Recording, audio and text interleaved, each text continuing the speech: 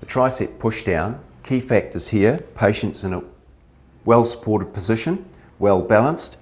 And when they, the elbows are tucked in, okay, push down please Miss Penrose, all the way down.